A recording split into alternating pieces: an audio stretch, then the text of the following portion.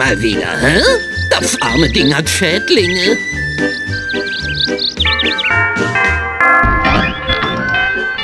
Guten Tag, Ma'am. Daffy Duck. Besser als ein Schuhschädlingsbekämpfer. Ich glaube, die brauchen unseren 1A Super-Duper Schädlingsbekämpfungsservice. Außerdem ein Taschentuch. Oh, bitte kommen Sie rein, kommen Sie rein. Ich habe zwar jetzt schon eine ganze Weile Ärger mit diesem Monster, aber diesmal ist es zu weit gegangen. Ich muss es loswerden, bevor noch ein Unfall passiert. Also gut, Schwester. Wenn Sie mir einfach zeigen würden, wo dieser fiese kleine Plagegeist steckt, werde ich Ihnen null Komma nichts beseitigen. Ja, es ist ein ganz schön teuflisches kleines Monster. Und bei all den Maschinen, die hier rumstehen, muss ich sehr vorsichtig sein. Nun, das letzte Mal, als ich den kleinen Frechdachs gesehen habe, war er hier irgendwo. Äh, Nein, nein, nein, es ist drüben. Dieses furchtbare Vieh ist hier drüben. Schnell! Schnell, schnell, es ist da oben. Beseitigen Sie dieses grässliche Biest, bevor es meinen armen kleinen Lieblingen noch etwas tut. Keine Sorge, Ma'am. Ich kümmere mich schon darum. Eben deshalb mache ich mir ja Sorgen. Keinen Schritt weiter, Freundchen. Hab ich dich.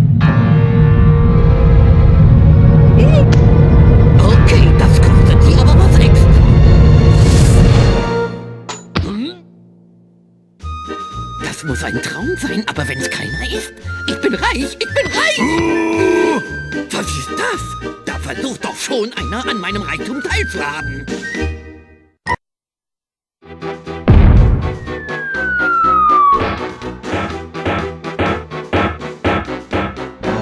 Autsch, hey, was soll denn das? Hier unten wohnt jemand, okay? Hey, Entschuldigung, ist was dort? Äh, hallo, könnten Sie mir bitte sagen, verzeihen Sie bitte, Sir, wären Sie bitte so... Kennt ihr diese merkwürdigen Tage, wo man sich irgendwie unsichtbar vorkommt? Entschuldige mal, Doc, äh, kannst du mir damit helfen? Nee, hör auf damit! Warte, stopp! Hm, die Spannung bringt mich noch um. Ich muss einfach rauskriegen, wo alle plötzlich so eilig hinwollen.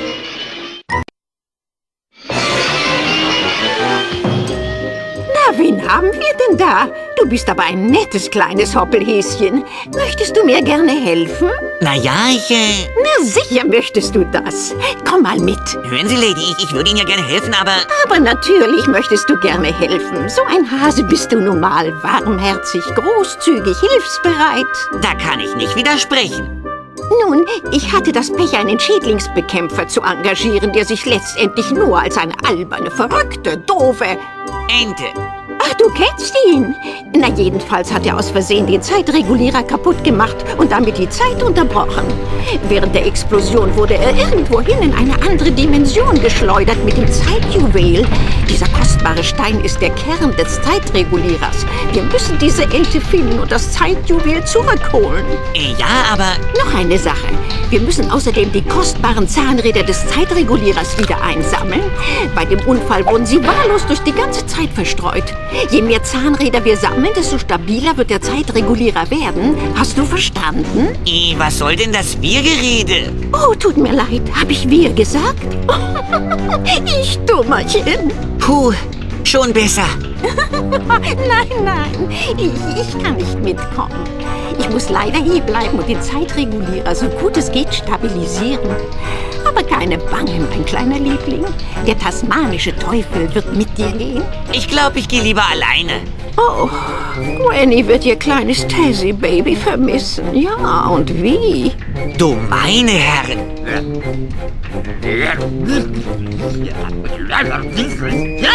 Nein, nein, nein, wir dürfen den Hasen nicht fressen. Ja, frisst ja nicht den Hasen.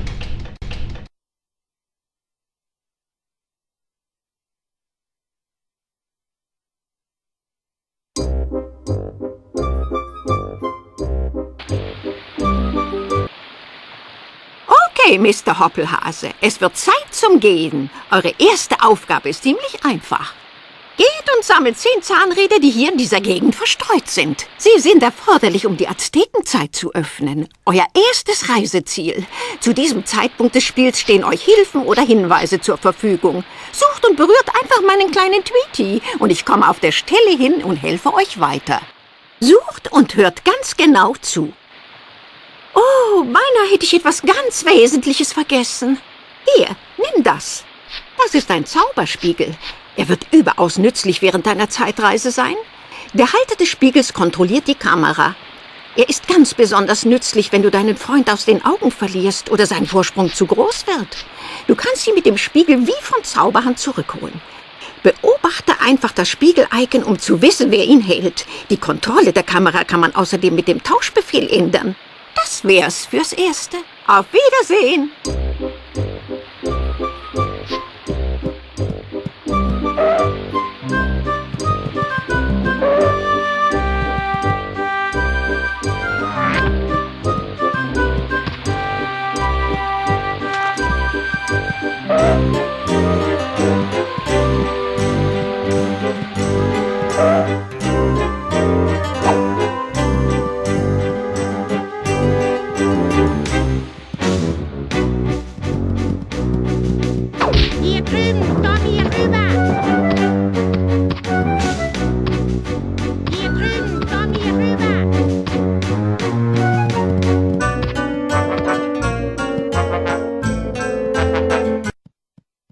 Hier ist ganz allein für Bugs. Denn Tess ist ein bisschen, äh, naja, äh, primitiv.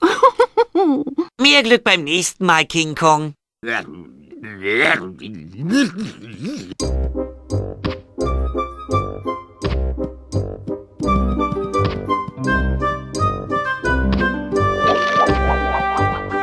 Wirklich sehr, sehr gut.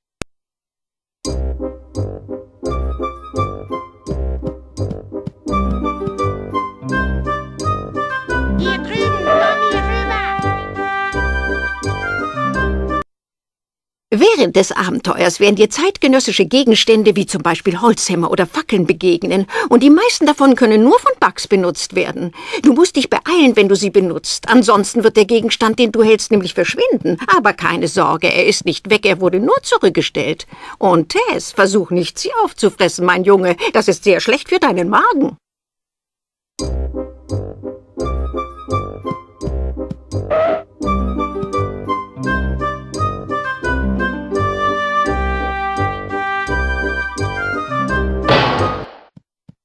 Etwas für Bugs. Also du musst deine werferischen Fähigkeiten trainieren.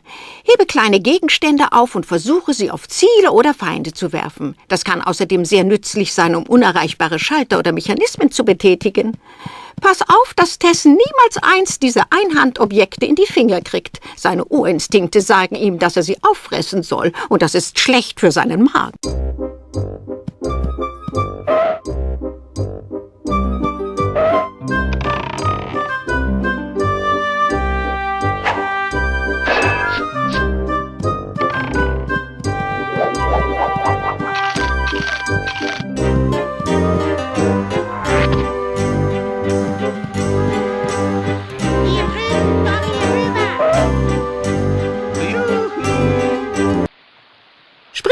Dem kleinen Kerl auf den Kopf, um ihn aufzuhalten, und tritt oder wirbel ihn herum, um ihn K.O. zu schlagen. Dann stiehl ihm das Zahnrad, das er gehalten hat. Du wa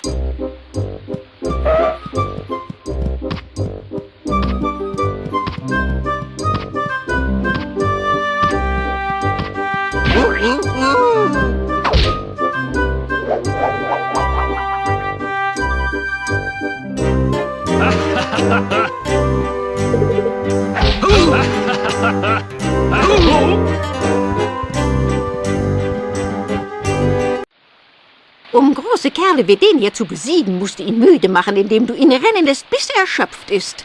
Wenn er stehen bleibt, gibst du du's ihm. Viel Glück! Du meine Herren, wie gerate ich da nur immer wieder rein?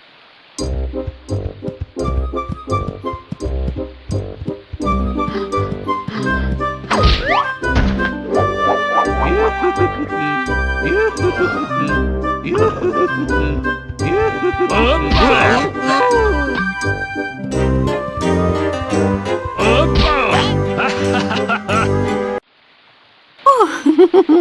keine Sorge. Wenn das passiert, such dir ein Eilzustellungspaket wie das hier und gib ihm einen Tritt. Los, versuch es. Was habe ich mir nur dabei gedacht? Tada! Großartig, nicht wahr? Wenn einem von euch die Kraft ausgeht, macht der andere allein mit der Suche weiter. Um den stehen gelassenen Kameraden zurückzuholen, sucht euch ein Allzustellungspaket und macht es kaputt.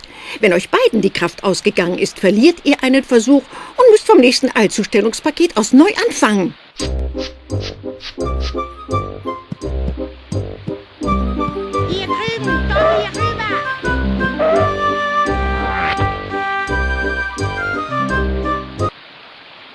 Muss zuerst die großen Kisten wegschieben und dann die kleinen aufheben, absetzen und stapeln. Fertig?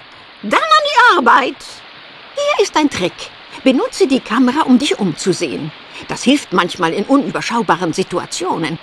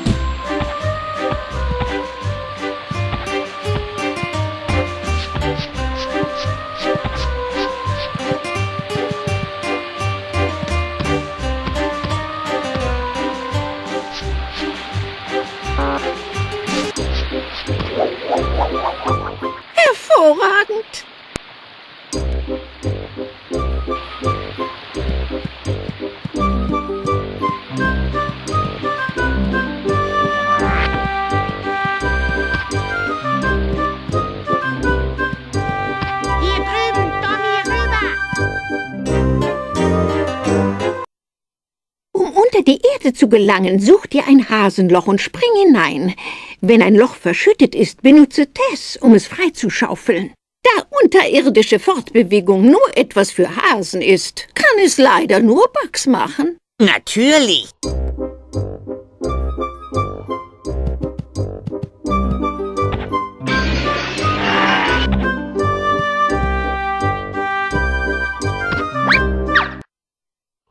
Ausgezeichnet. Also du kannst dich jetzt in alle Richtungen fortbewegen und außerdem verschiedene Objekte von unten umstoßen. Kriech einfach drunter und spring hoch. Genauso steigst du auch aus einem Hasenloch aus. Viel Glück!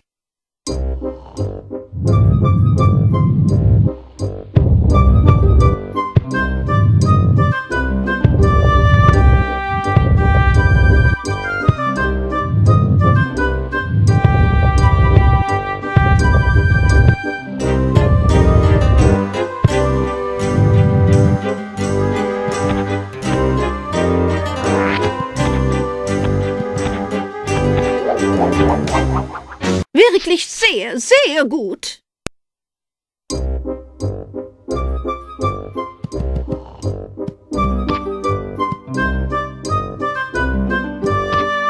Hier drüben, komm hier rüber. Noch etwas für Bugs. Äh,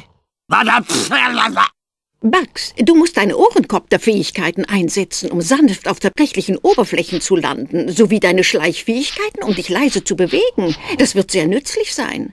Also jetzt geht zu dem Mast und klettert daran herauf. Dann schnappt euch das Zahnrad. Geht und, äh, oh ja, nehmt euch vor dem Hund in Acht. Hund?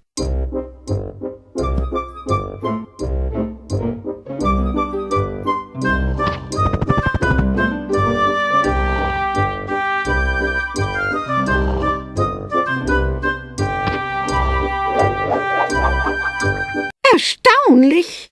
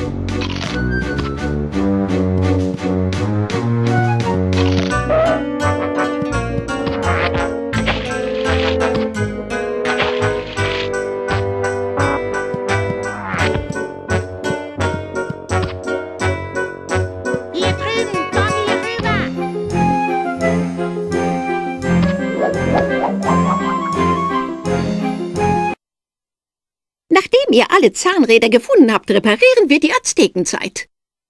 Ausgezeichnet. Äh, Nur noch ein paar Dinge, bevor das Abenteuer beginnt. Ich möchte euch gerne eine Reihe von Gegenständen und Konzepten vorstellen, die in dem Spiel auftauchen. Ich bin ganz ohr, Granny. Das Zeitjuwel ist das Ziel eurer Suche. Ohne diesen Stein kann der Zeitregulierer nicht richtig funktionieren. Ihr müsst den Stein unbedingt finden und wieder zurückbringen. Ich habe ihn in der Aztekenzeit ausgemacht. Nach dem Zeitjuwel sind die Zahnräder des Zeitregulierers die wichtigsten Objekte eures Abenteuers. Sie sind notwendig, um den Zeitregulierer zu stabilisieren. Um die Maschine zu reparieren, sammelt die Zahnräder und findet den Stein wieder. Berührt einfach ein Zahnrad, um es zu sammeln. Es wird sich wie von Zauberhand drehen und nach Greenwich zurückfliegen. Diese Acme-Kisten sind auf jedem Level versteckt. Wenn alle kaputt gemacht worden sind, wird ein Zahnrad zum Vorschein kommen. Mehrere Figuren aus verschiedenen Zeitaltern sind versehentlich aus ihrer ursprünglichen Zeit geschleudert worden. Ihr müsst sie alle finden und zurück in ihre jeweilige Welt bringen, indem ihr sie einfach berührt. Sucht sorgfältig, sie sind manchmal versteckt. Eine Schindel stellt einen Versuch dar. Wenn keine Versuche mehr übrig sind, ist das Spiel vorbei. Ihr könnt sie überall während des Spiels finden. Um sie zu sammeln, müsst ihr nur drüber laufen und sie werden auf dem Schindelzähler addiert. Die Karotten sind euer Kraftstoff, eure Energiequelle. Wenn eure Energiereserven zurückgehen, könnt ihr sie mit Karotten wieder auffüllen. Wenn eure Energiereserven voll sind, werden die Karotten einfach nur gesammelt. In manchen Fällen ist eine bestimmte Anzahl von Karotten nötig, um Objekte zu aktivieren oder neue Gegenden zu betreten. Die Herrschermarken sind Schlüssel, um die Herrscherlevels zu öffnen. Wenn ihr alle Herrschermarken eines Zeitalters findet, erhaltet ihr Zutritt zum Aufenthaltsort des Herrschers der jeweiligen Zeit. Hier noch eine ganz wichtige Sache. Ihr könnt zu jedem Zeitpunkt des Spiels speichern. Geht einfach auf das Pausenmenü und wählt die Speicheroption aus. Euer Fortschritt wird gespeichert, aber nicht eure genaue Position. Euren Fortschritt im Spiel könnt ihr erkennen, indem ihr die Bestandsaufnahme verwendet. Dort erfahrt ihr die Anzahl der Zahnräder und Herrschermarken, die ihr gesammelt habt, die Anzahl der Acme-Kisten, die ihr kaputt gemacht habt und die Anzahl der verirrten Figuren, die ihr in ihre jeweilige Welt zurückgebracht habt. Wenn ihr zusätzliche Hilfe braucht, geht auf das Pausenmenü und wählt die Hilfeoption aus. Ihr könnt außerdem in der Spielanleitung nachschlagen. Jetzt ist es an der Zeit, mit eurem aufregenden Abenteuer zu beginnen.